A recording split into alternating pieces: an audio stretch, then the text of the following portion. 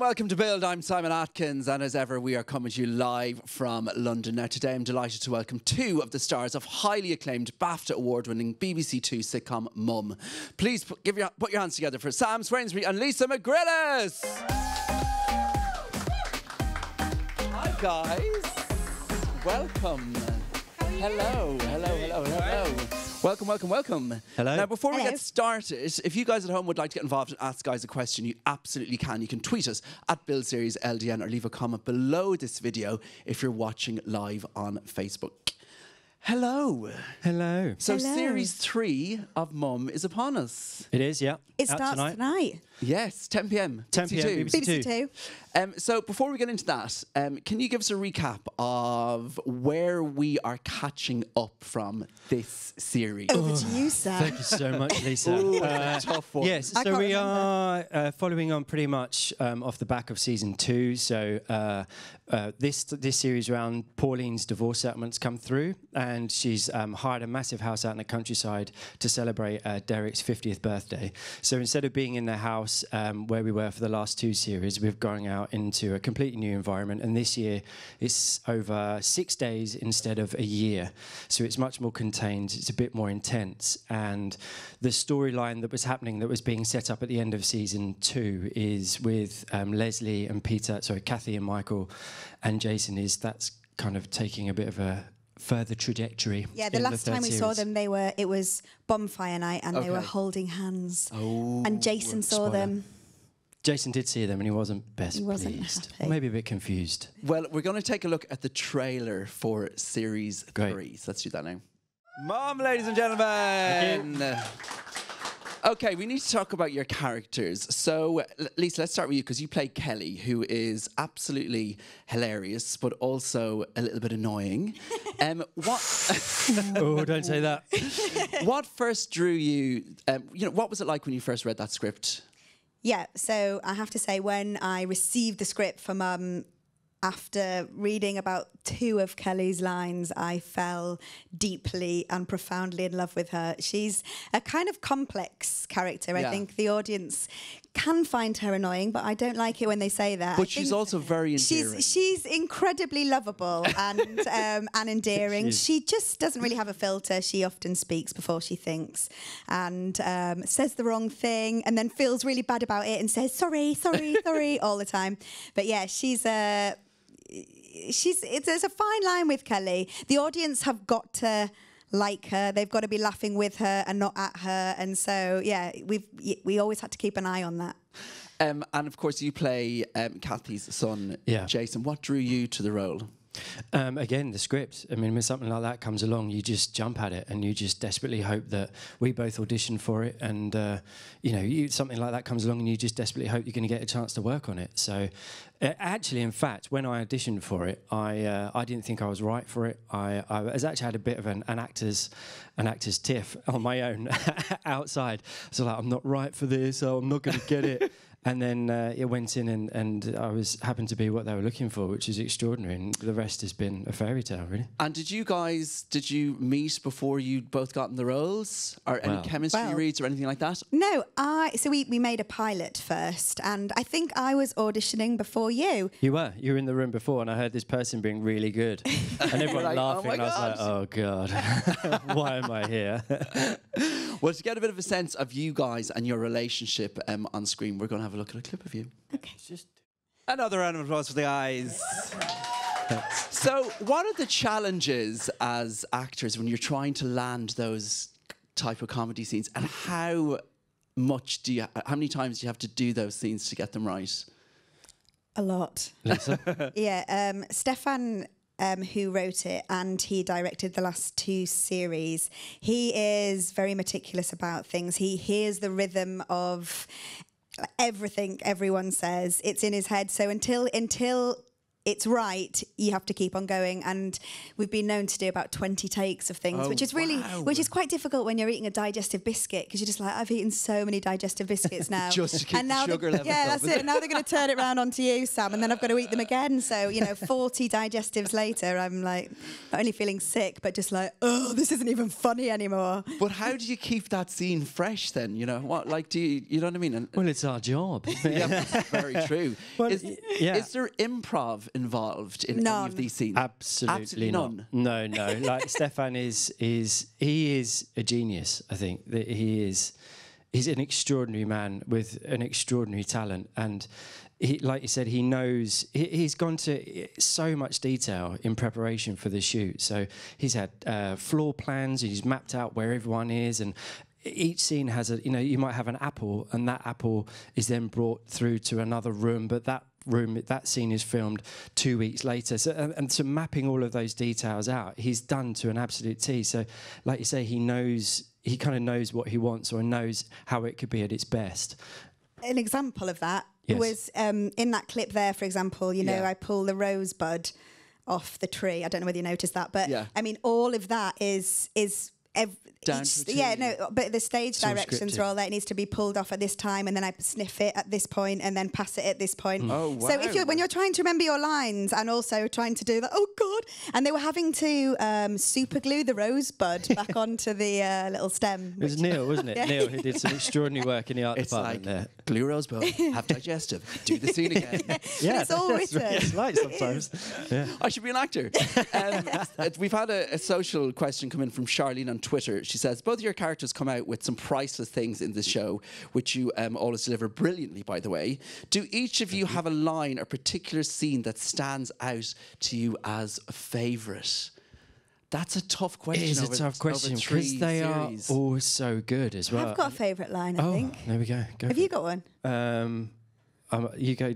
I'll try and think of one. while you're telling yours. okay, I'll try. You go first. Um, I think it was um, series one, Christmas, and um, Kelly describes herself as being sadder than the sisters of Lazarus. I was like, that's a good one. That was my favourite. She she found the Bible, read it back to back, and um, yeah, made friends with a ninety-year-old person Hmm. at church. Nice, nice. What about you? Um, well, I just I thought of one, but I don't know if I can say it this time on uh, on the internet. But it's talking about uh, uh, sexual positions. I don't know if I can talk about that. Maybe Of course not. you can, mate. This is But- online. Right. Okay. Great. Great. But he's talking about how he thinks a missionary position is his favourite position because you know it's, it's not it's not very la di da, but you know there's no nonsense and you don't get cramp and you know where you are.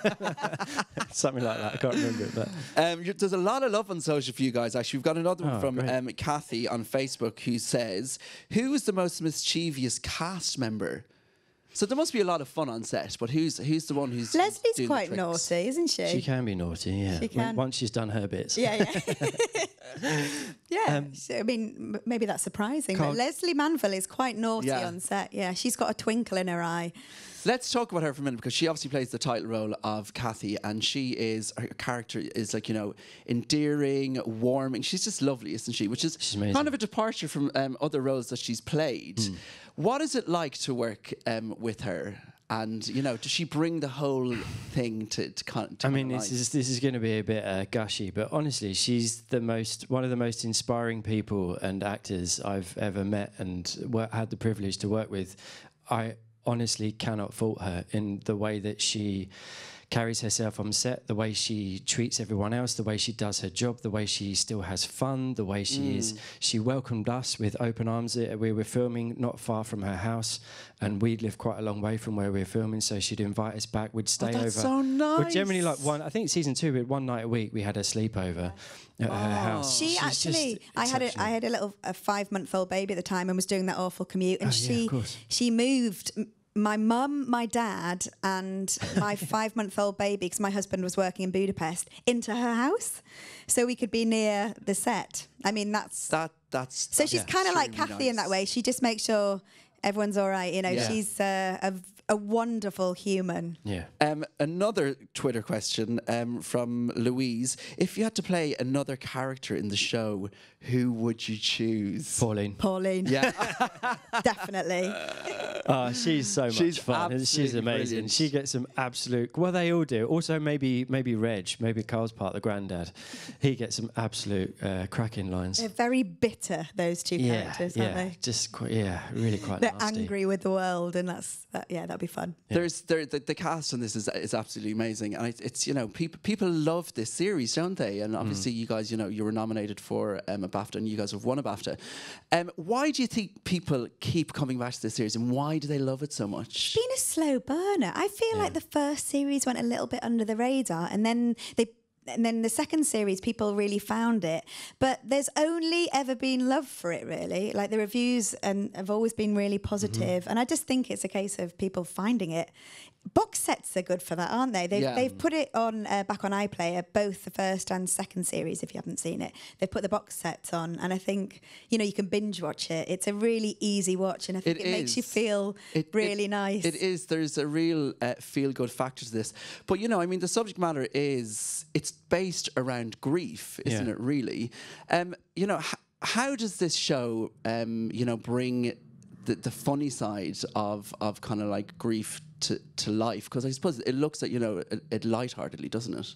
Yeah, I, I- think well, that's what people do in life. I think you know when people lose things. I know uh, I lost someone in my family a, a, a couple of years ago, and and there are, you you find those moments of real uh, humour within that because you have to. It's, it's, it's a way of dealing with it, and it's a way of way of getting through it. And I think that's one of the, going back to your other question. Why it, um, I love that photo of you two. It's such a great Oh, photo of why um, uh, why it speaks so uh, uh, to so many people, why it's been so successful, is because I think he's captured something, in in essence, so so real, um, and that's uh, the, that's what, and it's it's real life, and that's how people behave, and that's why I think it's so brilliant.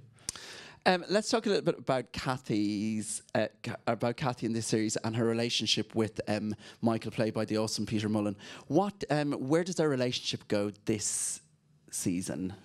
And what can you tell us without giving too much Can away? we say much? I don't know how much we can say, really. I mean, they're, it's famously a slow burner, their relationship. Yeah. Um, yeah, so obviously at the end of the second series, they've held hands. So, um, and their relationships obviously got to that point, and then we are seeing them now. I think it's about four months later. So, uh, yeah, we're catching up with them there and how how their relationships developed to that point. Is it? If, it's, there's quite a lot in the first episode, isn't there? Mm, Yeah, there's, Uh, there's uh, a yeah. lot of reveals. Yeah, yeah. within so, the first 10 very quickly you find out where Yeah. you know where they've been for the last four months and where they are together, um, and then it develops from there. Um, and of course, this is season three. So is this definitely the last series? Yes. One hundred percent. Yes. There's not going to be a season four. Nah. No, I feel like I think I was saying to Stefan at the BAFTAs on Sunday, I was like, we need to revisit them in like ten years' time to Yeah, see where they be all are. You know, just I think that would be fun. Kelly and Jason with their eight kids. Yeah, yeah. He was like, maybe I, will wait until I need like a loft conversion, and then I'll write another series. Um, what are you guys going to miss about this series? I mean, you- so much. Not that whole thing, really. There's not the only thing I really don't like about this job is my haircut. That, th- that's the one thing I, I really uh, struggle with for eight weeks. Um, and other than that, the, the the company we're really close. We are we are.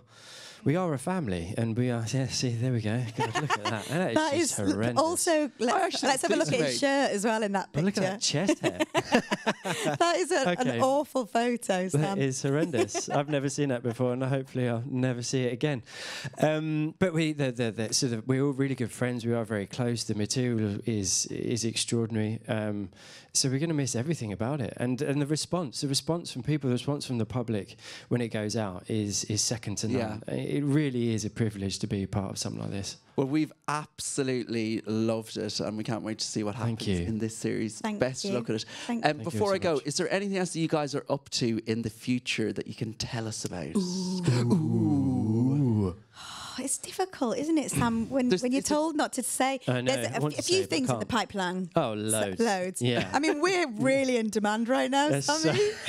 if anyone's casting anything, I'm unemployed. So um, No, we've got a couple of things, but we're not allowed to talk about them just yet. But uh, Okay, but yeah, hopefully yeah. we'll see you guys on screen or a stage. Yes. Very soon. Yes. Yes. Thank you so much for coming Thank on, Thank Build. you. It's Thoroughly been great. enjoyed you. Oh, thank Sadly, you. that's all we've got time for with Sam and Lisa, but you can watch Mum tonight at 10 p.m. on BBC Two. We're back tomorrow with Sophie Rundle from Gentleman Jack and the Apprentice winner, Sian Gabbidon. So see you then. Right now, though, give it up one last time for Sam and Lisa.